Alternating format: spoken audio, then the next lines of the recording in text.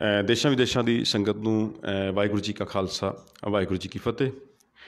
ਮੈਂ ਹਰਵਿੰਦਰ ਸਿੰਘ ਉੱਤਰਾਖੰਡ ਤੋਂ ਆਪ ਸਭ ਦਾ ਸਵਾਗਤ ਕਰਦਾ।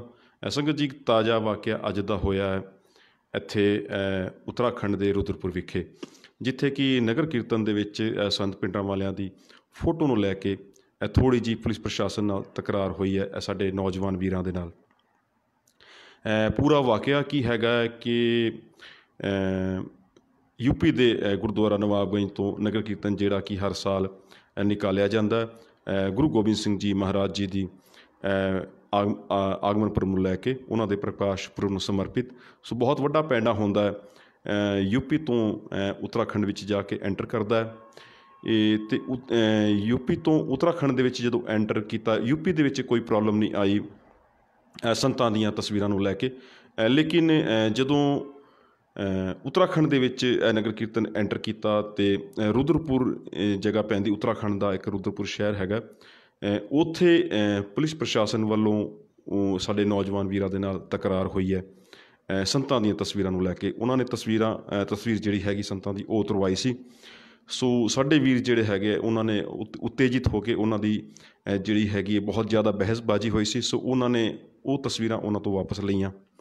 ਇਹ ਇੱਥੇ ਇੱਕ ਗੱਲ ਹੋਰ ਜ਼ਿਕਰਯੋਗ ਇਹ ਹੈਗੀ ਕਿ ਪਿਛਲੇ ਸਾਲ ਵੀ ਇਹ ਵਾਕਿਆ ਇੱਥੇ ਆਇਆ ਸੀ। ਸੋ ਐਫ ਆਈ ਆਰ ਦਰਜ ਹੋਈ ਸੀ ਉੱਤਰਾਖੰਡ ਦੇ ਰੁਦਰਪੁਰ ਦੇ ਨਗਰ ਕੀਰਤਨ ਦੇ ਵਿੱਚ।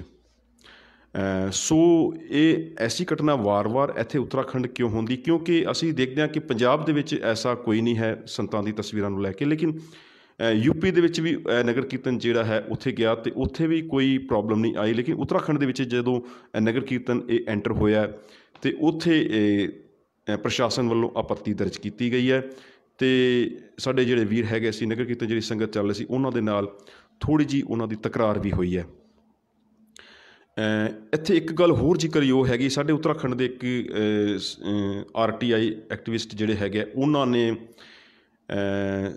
ਸਰਕਾਰਾਂ ਤੋਂ ਸੂਚਨਾ ਮੰਗੀਆਂ ਸੀ ਕਿ ਸੰਤਾਂ ਦੀਆਂ ਤਸਵੀਰਾਂ ਬੈਨ ਹੈਗੀਆਂ ਜਾਂ ਨਹੀਂ ਹੈਗੀਆਂ, ਇਹਦੇ ਲਈ ਤੁਸੀਂ ਆਪਣੀ ਜਿਹੜੀ ਜਾਣਕਾਰੀ ਹੈ ਉਹ ਦਿਓ ਤਫਸੀਲ ਦੇ ਨਾਲ। ਸੋ ਉਹਨਾਂ ਨੂੰ ਜਿਹੜੀ ਜਾਣਕਾਰੀ ਮਿਲੀ ਸੀ ਉਹ ਕਿ ਸੈਂਟਰ ਗਵਰਨਮੈਂਟ ਤੋਂ ਐਸਾ ਕੋਈ ਨਿਯਮ ਨਹੀਂ ਹੈਗਾ ਕਿ ਤਸਵੀਰਾਂ ਤੇ ਬੈਨ ਹੈਗਾ।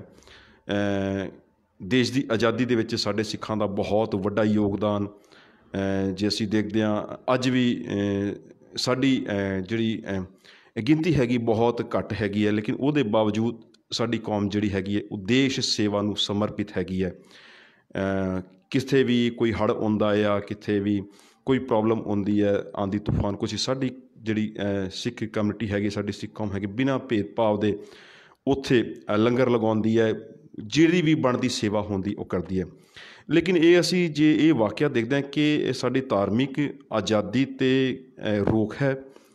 ਕਿਉਂਕਿ ਅਗਰ ਸੰਤਾਂ ਦੀ ਤਸਵੀਰਾਂ ਤੇ ਅਗਰ ਬੈਨ ਹੈ ਬਿਲਕੁਲ, ਤੇ ਉਹ ਸਰਕਾਰਾਂ ਉਹਨਾਂ ਨੂੰ ਜਾਂ ਤਾਂ ਬੈਨ ਕਰ ਦੇਣ ਬਿਲਕੁਲ ਵੀ ਕਿਉਂਕਿ ਪੰਜਾਬ ਦੇ ਵਿੱਚ ਉਹਨਾਂ ਦੀ ਤਸਵੀਰਾਂ ਤੇ ਕੋਈ ਬੈਨ ਨਹੀਂ ਹੈਗਾ।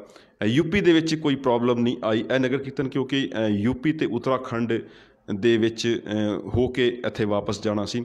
ਸੋ ਯੂਪੀ ਦੇ ਵਿੱਚ ਉੱਤਰਾਖੰਡ ਯੂ ਨਗਰ ਕੀਰਤਨ ਬੜੇ ਵੱਡੇ ਪੱਧਰ ਤੇ ਉੱਥੇ ਸੇਵਾ ਹੋਈ।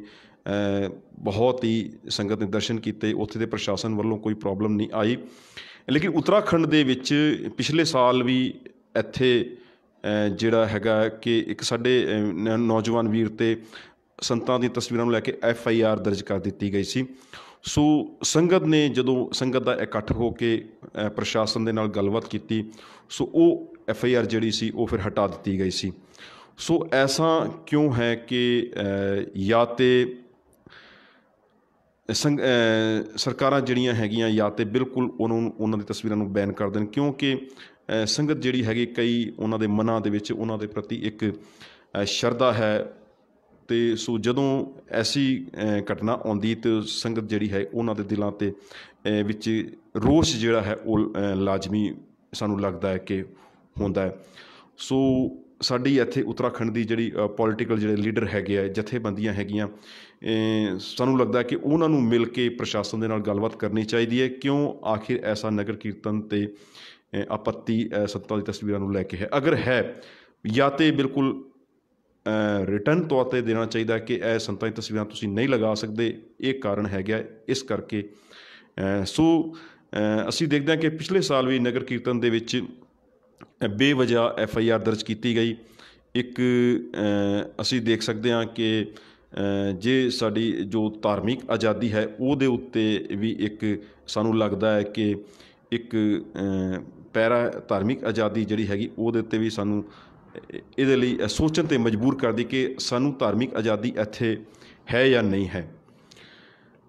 ਸੋ ਸਾਨੂੰ ਲੱਗਦਾ ਕਿ ਸਾਡੀ ਜਿਹੜੀ ਇੱਥੇ ਦੀ ਉੱਤਰਾਖੰਡ ਦੀ ਵੱਖ-ਵੱਖ ਵੱਡੀ ਵੱਡੀ ਜਥੇਬੰਦੀਆਂ ਹੈਗੀਆਂ ਸੋ ਕਾਲਡ ਜਿਹੜੇ ਬੜੇ ਵੱਡੇ ਵੱਡੇ ਸਾਡੇ ਸਿੱਖਾਂ ਦੇ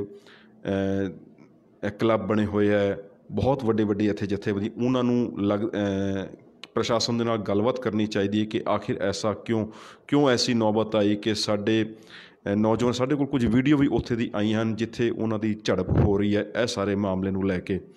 ਸੋ ਸਾਡੀ ਨਜ਼ਰ ਪੂਰੀ ਹੈਗੀ ਇਸ ਮੁੱਦੇ ਤੇ ਅਗਲਾ ਸਟੈਪ ਕੀ ਹੁੰਦਾ ਹੈ। ਹੋਰ ਇਹਦੇ ਤੋਂ ਰਿਲੇਟਡ ਜਿਹੜੀ ਜਾਣਕਾਰੀ ਹੋਏਗੀ, ਅਸੀਂ ਜ਼ਰੂਰ ਕੋਸ਼ਿਸ਼ ਕਰਾਂਗੇ ਕਿ ਸੰਗਤ ਦੇ ਕੋਲ ਅਸੀਂ ਉਸ ਪੂਰੇ ਟੌਪਿਕ ਨੂੰ ਲੈ ਕੇ ਕਿਉਂਕਿ ਹੁਣੇ ਹਰਿਆਣਾ ਦੇ ਵਿੱਚ ਵੀ ਜੇ ਅਸੀਂ ਦੇਖਦੇ ਹਾਂ ਕਿ ਪਿਛਲੇ ਸਮੇਂ ਉੱਥੇ ਬੜਾ ਬਵਾਲ ਹੋਇਆ ਸੀ।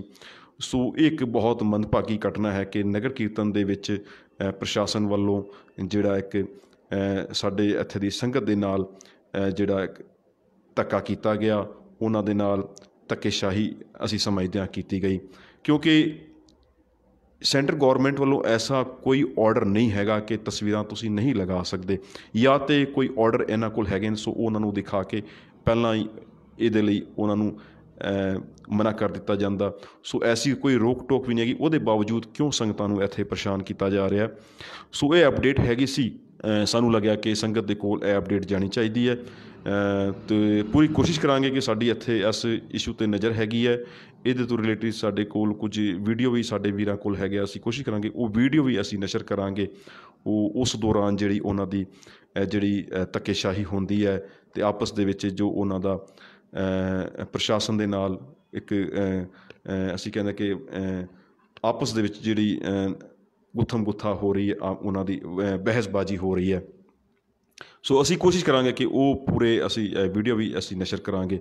ਇਹਦੇ ਤੋਂ ਰਿਲੇਟਡ ਹੋਰ ਜਿਹੜੀ ਅਪਡੇਟ ਹੋਏਗੀ ਅੱਜ ਦੇ ਨਗਰ ਕੀਰਤਨ ਦੇ ਵਿੱਚ ਜਿਹੜੀ ਤਸਵੀਰਾਂ ਉਤਾਰੀਆਂ ਗਈਆਂ ਤੇ ਉਹਦੇ ਬਾਅਦ ਪ੍ਰਸ਼ਾਸਨ ਦਾ ਕੀ ਰੁਖ ਰਹਿੰਦਾ ਹੈ ਤੇ ਉਹਦੇ ਸਾਡੀ ਇੱਥੇ ਦੀ ਜਥੇਬੰਦੀਆਂ ਦੇ ਵਿੱਚ ਕੀ ਇਹਦੇ ਪ੍ਰਤੀ ਰੋਸ਼ ਹੈ ਜਾਂ ਉਹਨਾਂ ਦਾ ਕੀ ਕਹਿਣਾ ਹੈ ਸੋ ਅਸੀਂ ਉਹਨਾਂ ਦੇ ਵਿਊਜ਼ ਲਵਾਂਗੇ ਕਿਉਂਕਿ ਇਹ ਛੋਟਾ ਮਸਲਾ ਨਹੀਂ ਹੈਗਾ ਕਿ ਅਗਰ ਸੰਗਤ ਇਹਦੇ ਤੇ ਆਵਾਜ਼ ਨਹੀਂ ਚੁੱਕਦੀ ਤੇ ਹੋ ਸਕਦਾ ਹੈ ਕਿ ਆਉਣ ਵਾਲੇ ਸਮੇਂ ਦੇ ਵਿੱਚ ਹੋਰ ਜ਼ਿਆਦਾ ਇਹੋ ਜਿਹੇ ਮਾਮਲੇ ਜਿਹੜੇ ਅ, ਵੱਧਦੇ ਹੋਣ ਵੱਧਦੇ ਜਾਣਗੇ। ਸੋ ਅਸੀਂ ਅਪਡੇਟ ਲੈ ਕੇ ਤੁਹਾਡੇ ਕੋਲ ਫਿਰ ਹਾਜ਼ਰ ਹੋਵਾਂਗੇ ਇਹਦੇ ਤੋਂ ਰਿਲੇਟਡ ਜਿਹੜੀ ਵੀ ਅਪਡੇਟ ਹੋਏਗੀ। ਸੋ ਦੇਖਦੇ ਰਹੋ ਸਿੱਖ ਚੈਨਲ ਵਾਹਿਗੁਰੂ ਜੀ ਕਾ ਖਾਲਸਾ ਵਾਹਿਗੁਰੂ ਜੀ ਕੀ ਫਤਿਹ।